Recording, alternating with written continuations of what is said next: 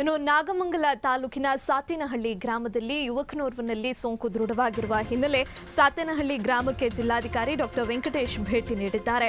ಗ್ರಾಮದ ವ್ಯಕ್ತಿಗೆ ಕೊರೋನಾ ಸೋಂಕು ದೃಢವಾದ ಬೆನ್ನಲ್ಲೇ ಗ್ರಾಮಕ್ಕೆ ಭೇಟಿಯನ್ನ ನೀಡಿದ್ದಾರೆ. ಕಂಟೈನ್ಮೆಂಟ್ ಪ್ರದೇಶವಾಗಿರುವಂತಹ ಸಾತೇನಹಳ್ಳಿ ಗ್ರಾಮಕ್ಕೆ ತೆರಳಿ ಗ್ರಾಮಸ್ಥರ ಜೊತೆ ಸಮಾಲೋಚನೆಯನ್ನ ನಡೆಸಿ ಧೈರ್ಯ ತುಂಬಿದ್ದಾರೆ. ಡಿಸಿ ವೆಂಕಟೇಶ್, ಭಯ ಬೇಡ, ಜಾಗೃತರಾಗಿರೋಣ ಎಂದು ಗ್ರಾಮಸ್ಥರಿಗೆ ಧೈರ್ಯ ಹೇಳಿದ್ದಾರೆ.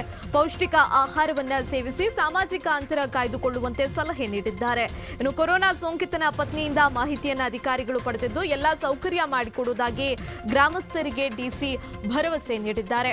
ಮಂಡ್ಯ ಜಿಲ್ಲೆಯಲ್ಲೂ ಕೂಡ ಕೊರೋನಾ ಪ್ರಕರಣಗಳು ಜಾಸ್ತಿ ಆಗ್ತಾ ಇರುವಂತದ್ದು ಇನ್ನು ನಾಗಮಂಗಲ ತಾಲೂಕಿನ ಸಾತಿನಹಳ್ಳಿ ಗ್ರಾಮಕ್ಕೆ ಕಳೆದ ವಾರವಷ್ಟೇ ಮುಂಬೈನಿಂದ ಒಬ್ಬ ವ್ಯಕ್ತಿ ಆಗಮಿಸಿದ್ದ.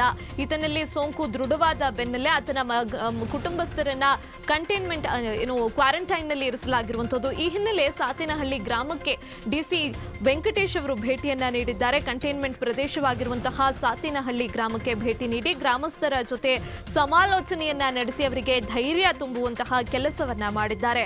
ಭಯ ಬೇಡ, ಜಾಗೃತರಾಗಿರೋಣ.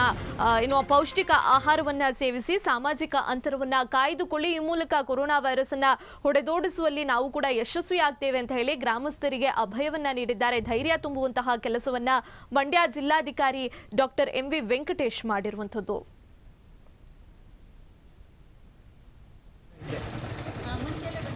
ಟೂ ಡೇಸ್ ಮುಂಚೆ ಬಂದಿದೆ ಸರ್ ಟ್ವೆಂಟಿ ತ್ರೀ ಲಾಕ್ಡೌನ್ ವಯಸ್ಸಾದವ್ರು ಇರ್ತಾರಲ್ಲ ಕೆಲವರಿಗೆ ಕಸಿ ಇರುತ್ತೆ ಅಸ್ಮ ಇರುತ್ತೆ ದಮ್ಮಿದೆ ಅಂತ ಹೇಳ್ತಾರೆ. ತಮ್ಮಿದೆ ಮೆಡಿಸಿನ್ ಸುಮ್ನೆ ಕೆಮ್ಮಿದೆ ಅಂತ ಹೇಳ್ತಾರೆ.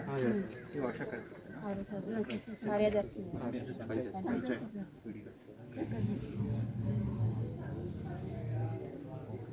ಚಿಕ್ಕ ಮಕ್ಕಳಿಗೆ ವಯಸ್ಸಾದವ್ರು ಮತ್ತು ಚಿಕ್ಕ ಮಕ್ಕಳಿಂದ ದೂರ ಇರುತ್ತೆ ವ್ಯಾಕ್ಸಿನ್ ಎಲ್ಲ ಕೊಡ್ಬೇಕು ಅಂತ ಇದ್ದಾರೆ ವ್ಯಾಕ್ಸಿನ್ ಕಂಟೈನ್ಮೆಂಟ್ ಝೋನಲ್ಲಿ ಕಂಟೈನ್ಮೆಂಟ್ ಝೋನ್